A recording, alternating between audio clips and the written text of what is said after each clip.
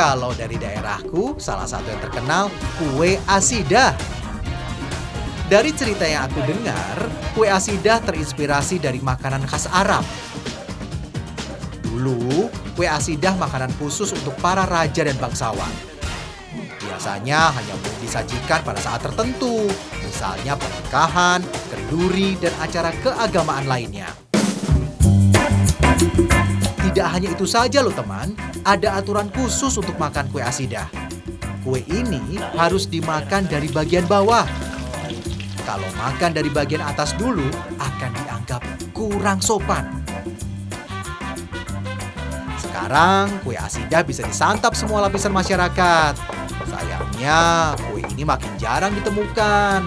Biasanya dibuat sesuai pesanan saja teman. Bahan yang dipakai untuk kue asidah masih mempertahankan resep turun-temurun. Hanya tepung dan beberapa rempah saja. Salah satu yang khas dari kue ini adalah bawang gorengnya. Bawang merah yang sudah diiris, digoreng sampai berubah kecoklatan. Ternyata minyak untuk menggoreng masih dimanfaatkan teman. Harus disisihkan dulu ya. Wah, bawang goreng yang digoreng tadi mbak ya?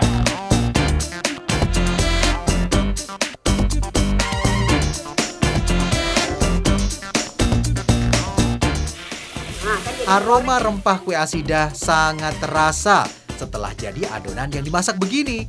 Cocok nih dengan rasa yang manis gurih.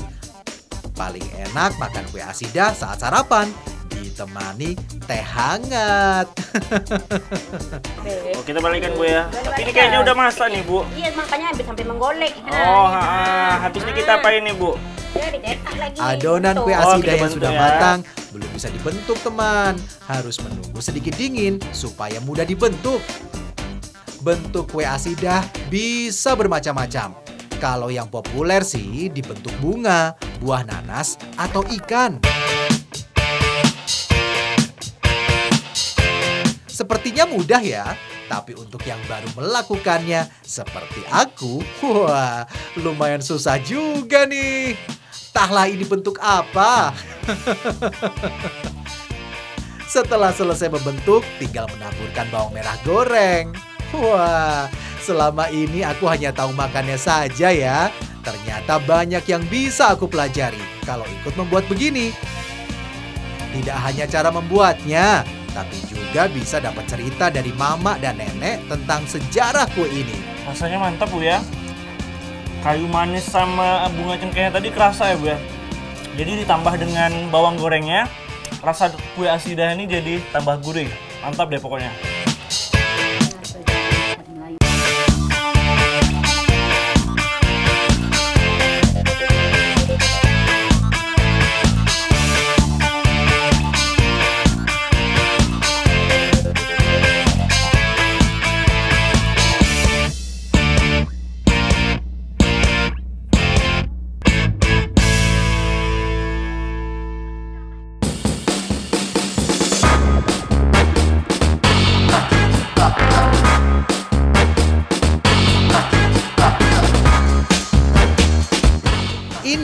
Juga kue tradisional Melayu yang populer teman.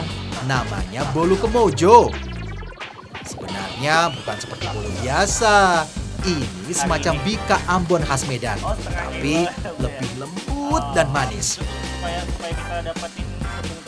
Nama bolu kemojo berasal dari bahasa Melayu yang menyebut bunga Kamboja. Kalau dilihat dari bentuknya betul, memang betul. seperti bunga Kamboja ya.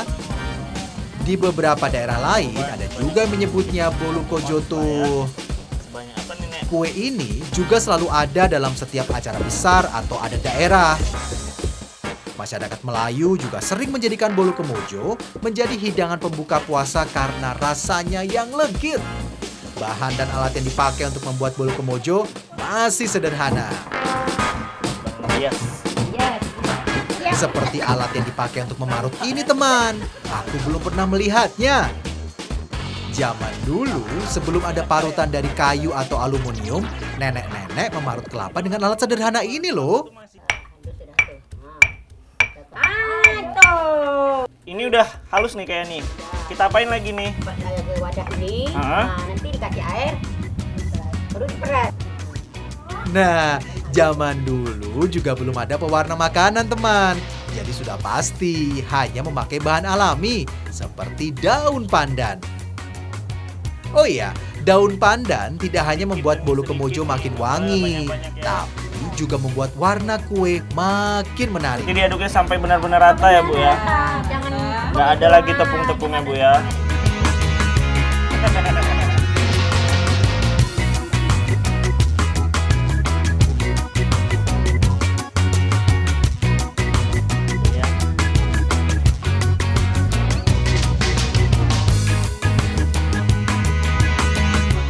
Setelah adonan selesai, tinggal mencetak dan memanggang saja. Di sini kita panggang langsung Bu ya. langsung. Kita angkat. Biasanya cetakan telah dipanaskan dan diolesi dengan mentega. Katanya sih supaya lebih mudah mengeluarkannya nanti setelah matang.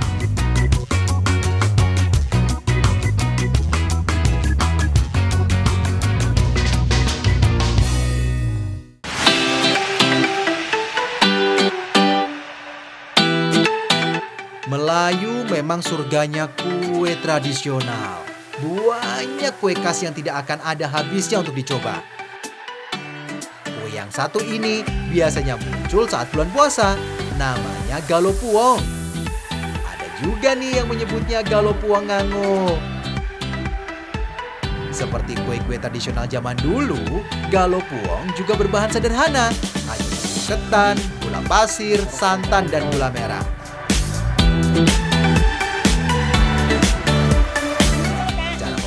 Pembuatannya juga sederhana nih teman. Hanya mencampurkan tepung ketan dan air, kemudian menambahkan santan. Galopuong bisa dibentuk semacam lesung kecil. Sepertinya nih kalau mama-mama di sini cepat sekali membuatnya ya. Tapi ternyata tidak semudah aku melihatnya teman. Sulit ternyata. Aku mesti latihan beberapa kali dulu sampai berhasil membentuknya.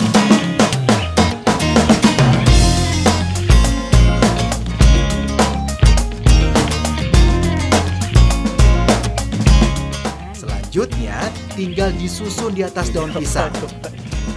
Oh iya teman, daun pisang tidak hanya jadi alas loh, tapi juga bisa menambah aroma khas makanan. Itu karena banyaknya kandungan polifenol dalam daun pisang. Gak heran deh kalau banyak dipakai sebagai pembungkus makanan. Kalau sudah, galopuong diisi gula pasir, lalu disiram dengan santan. Nah, kalau sudah begini, tinggal mengukus saja teman. Oh, kukus ya Bu ya. Saya kukus nih ya.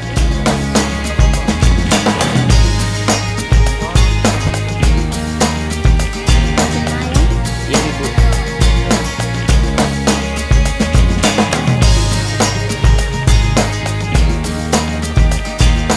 Galo Buangango juga dikenal takjil bunga durian teman. Banyak yang menganggap bentuknya mirip bunga durian.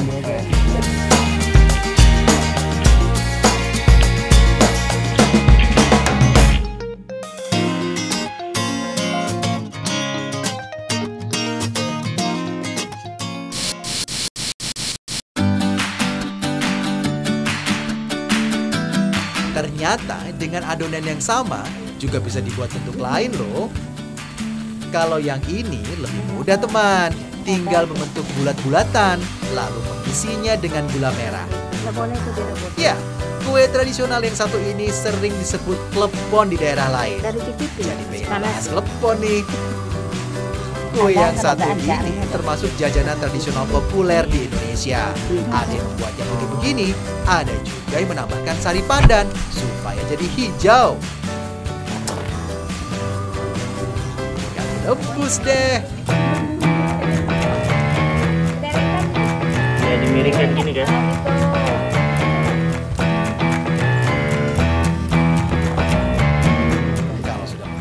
rasanya sudah matang. Nah, biar lebih mantap, tinggal ditambah kelapa parut.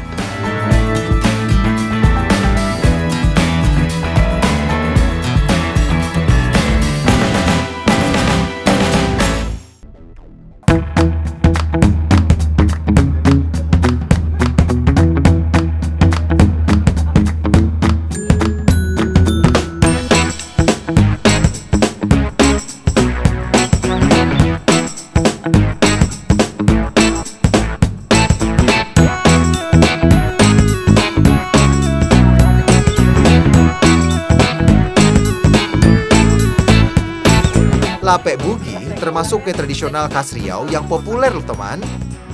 Awalnya lopek ketan hanya disajikan untuk kaum bangsawan. Kemudian jadi hidangan wajib saat acara besar seperti Bali Moba Kasai dan lainnya. Lope bugi yang kali ini kita buat menggunakan campuran ubi agar warnanya lebih cantik. Nah, intinya sendiri menggunakan kelapa agar komposisi dari lope bugi ini juga berwarna. Dan untuk eh, penggunaan bungkusnya, kita menggunakan pola segitiga.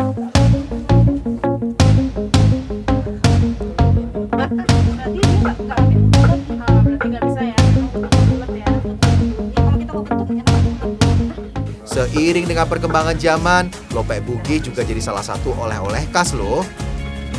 Dalam bahasa lokal, lopek bisa diartikan lepat dan bugi artinya ketan. Lebih tepatnya, beras ketan yang ditumbuk halus. Dulu sih, beras ketan ditumbuk langsung dengan lesung.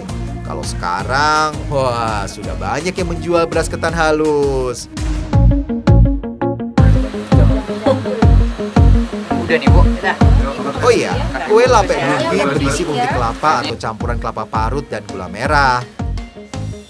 Kalau dari cara pembuatannya sih, mirip kue bugis khas Betawi atau kue mendut dari Jawa Tengah.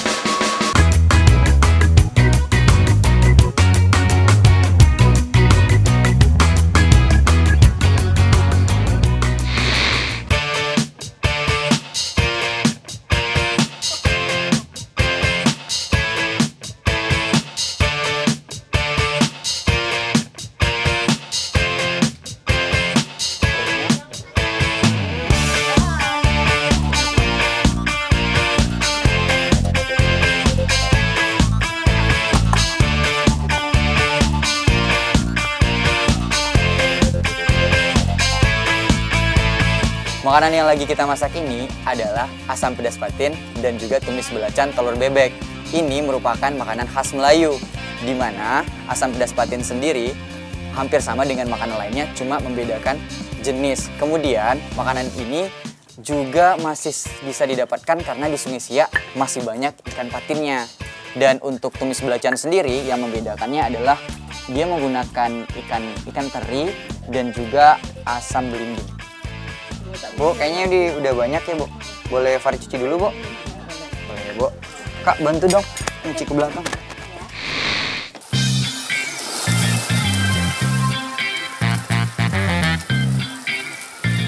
Ikan tawar lumayan melimpah di sini. Gak heran, banyak olahan ikan yang lezat. Salah satunya ya ikan patin. Ikan air tawar yang satu ini terkenal dengan dagingnya yang lembut. Ikan patin termasuk catfish alias kelompok ikan berkumis. Masih satu saudara sama ikan lele ya.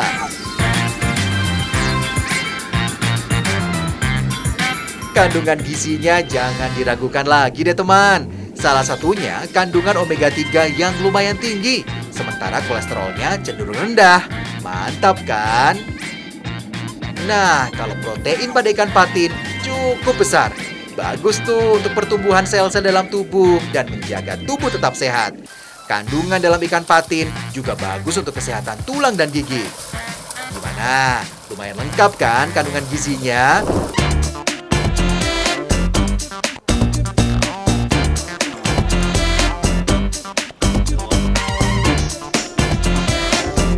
Asam pedas patin semacam menu wajib saat acara besar di Provinsi Riau. Mulai dari acara pemerintahan sampai hajatan keluarga seperti menanti menantu datang, manjalang mintuo, atau sunatan. Nah, ikannya udah bersih nih.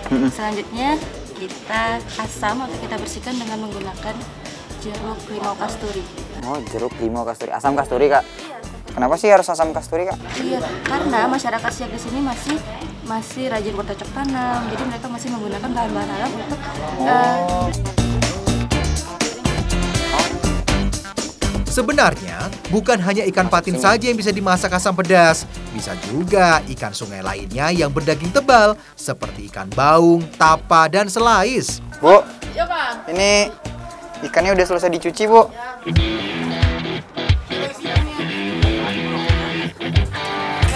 Diaduk-aduk.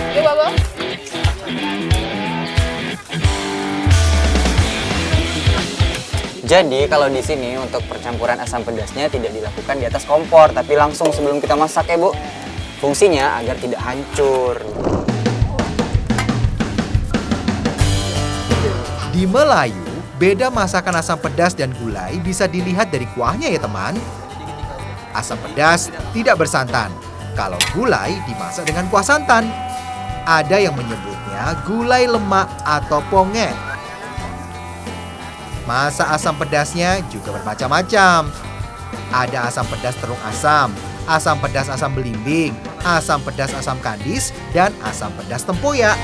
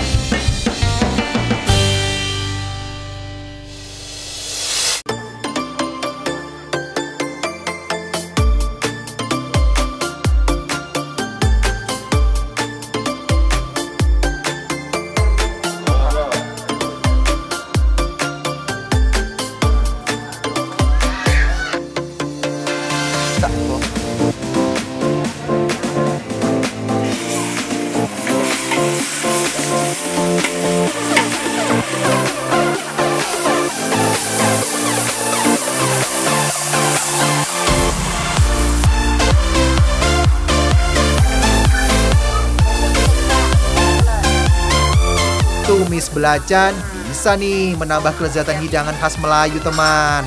Nah, tumis belacan ini kalau sudah matang yang menandakannya adalah ketika telur di bagian tengahnya sudah tidak bisa dipecah lagi. Nah, ini udah kayak ya udah matang nih, Kak. Berarti udah bisa diangkat ya, Kak. Oh iya, Kak, udah matang. Rasa pedas, asam, dan asin tumis belacan dijamin menambah selera makan kita. Sebagian orang Melayu menganggap bahwa makan belum nikmat kalau tidak dilengkapi dengan tumis belacan.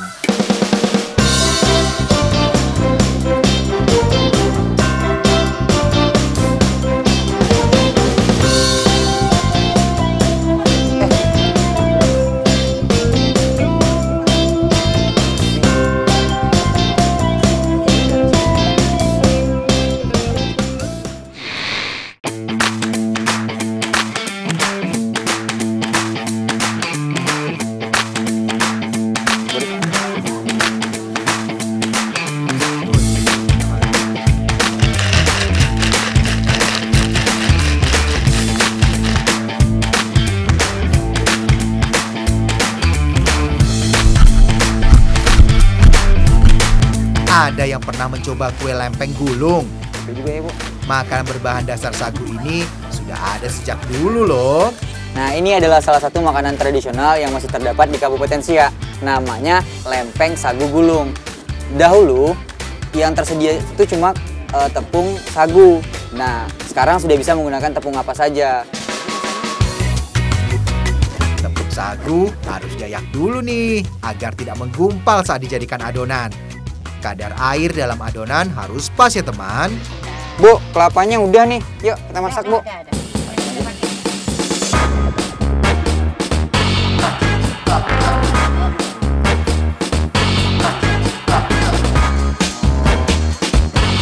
Tepung sagu yang terlalu basah akan membuat sagu lempeng lengket dan sulit dikeringkan.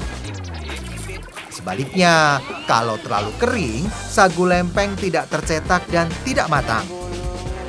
Ini sebenarnya cara masaknya sangat sederhana. Eh, hanya saja yang membuat dia unik itu adalah penggunaan daun pisang. Nah, juga penggunaan batu yang bakal ditidik-tidik yang fungsinya agar eh, lempeng sagunya menjadi tipis dan padat. Ini udah, Bu? Udah ya?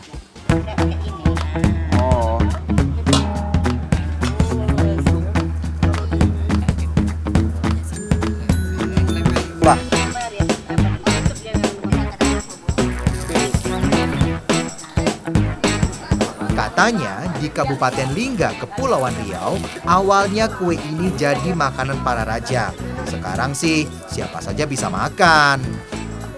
Lempeng sagu juga jadi makanan spesial bagi orang-orang yang jarang atau baru datang ke tanah Melayu ini. Hmm. Dahulunya lempeng sagu ini dihidang sebelum kita menu makan utama. Nah, sekarang eh, dengan perkembangan zaman lempeng sagu ini sebagai cemilan ya, Bu.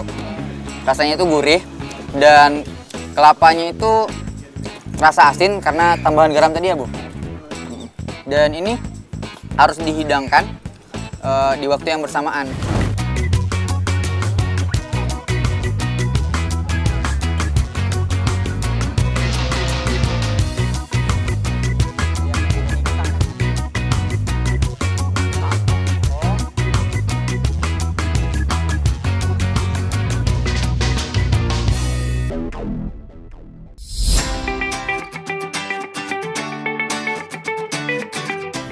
Sekarang kita sedang berada di kebun sawitnya Pak Musa ya Pak ya. Mungkin pada ngirain di kebun sawit ngapain ya? Mau ngambil sawit buat dijadiin minyak. Tapi perkiraan kalian salah. Kali ini kita udah sama Bang Ujang nih yang bakalan ngambil sawitnya nanti dengan cara dilodos. Mau jadiin kuliner khas dari Kabupaten Kampar. Nah, mau jadi apa? Kita lihat aja nanti ya. Kita dodos dulu sawitnya nih.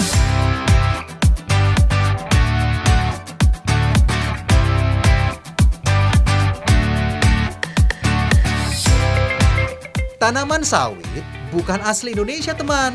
Asalnya dari Afrika. Orang Belanda lah yang membawa sawit ke Indonesia. Pertama kali di Bogor tahun 1848 Untuk pembuatan kuliner kali ini. dibudidayakan secara komersial dan, berapa mulai tersebar tahun kebunnya? 1910. Oh, yang ini nih. Udah dapat nih ya. Oh, langsung aja nih.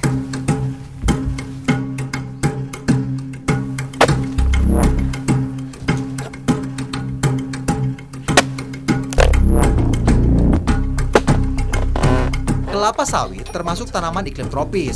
Biasanya tumbuh baik di dataran rendah yang panas dan lembab. Tanaman sawit yang produktif biasanya menghasilkan 20-an tandan per pohon per tahunnya. Dalam satu tandan begini, punya sekitar 2 ribuan buah sawit, teman. Di Indonesia, tanaman sawit dikembangkan di wilayah Sumatera, Kalimantan, Sulawesi, dan Papua. Ya. Minyak sawit tidak hanya dimanfaatkan sebagai minyak goreng saja loh teman. Minyak sawit juga dipakai dalam produk makanan lain seperti margarin, biskuit, donat, es krim, dan ya. masih banyak lagi. Nih cukup kayak nih Bang ya untuk udah cukup. buat nanti ya. Udah, kita berarti langsung ke sana aja nih ya. Iya. Lokasi tempat pembuatannya.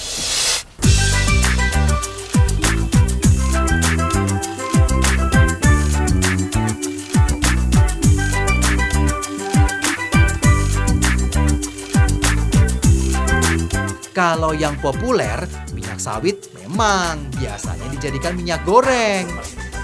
Dari hasil penelitian, minyak sawit asam lemak tak jenuh dan lemak jenuh masing-masing 50%. Dari info yang pernah aku baca nih, satu-satunya minyak nabati di dunia yang punya kandungan seperti itu. Oh iya, kelapa sawit penghasil minyak tertinggi bisa tiga kali lebih banyak dari minyak kelapa loh. Nah, sekitar lima tahun terakhir, masyarakat Kampar memanfaatkan buah sawit menjadi dodol.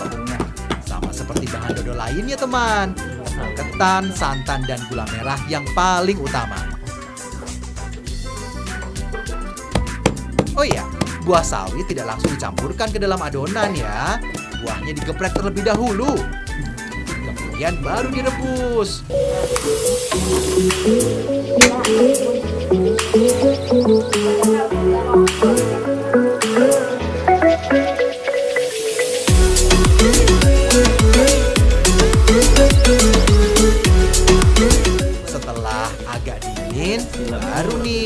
Pisahkan daging buah sawit dengan bijinya, Buah gulai. kemudian disaring. Nah, hasil saringan inilah yang akan dicampur dengan bahan lainnya. Kacang tanah sangrai ditumbuk. Ada juga dodol yang tidak memakai kacang sangrai. Sesuai selera saja ya teman. Dodol termasuk salah satu kue tradisional yang tersebar di banyak daerah di Indonesia. Mulai dari dodol Betawi, dodol Garut, sampai lempuk. Biasanya sama saja cara membuatnya, cuma beda bahannya saja tuh.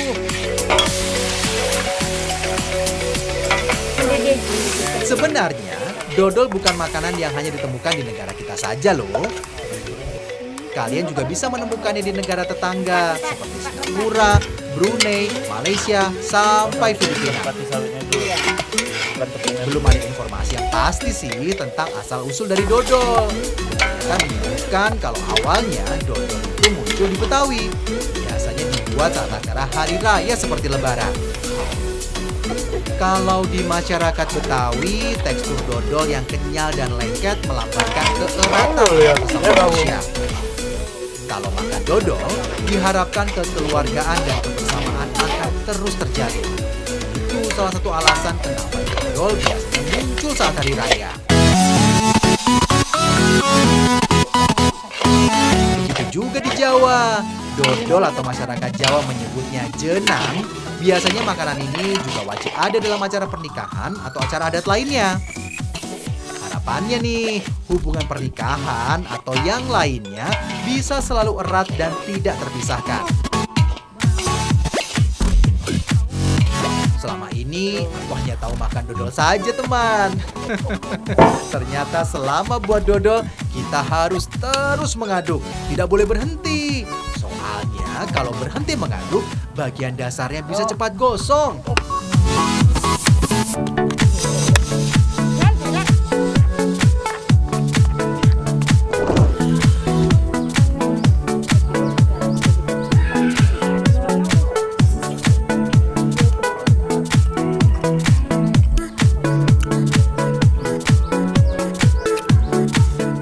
Rasa dodol sawit ini itu kayak dodol pada umumnya, cuma yang ngebedainnya itu tekstur dodolnya agak sedikit berminyak mungkin didapat dari buah sawitnya tadi.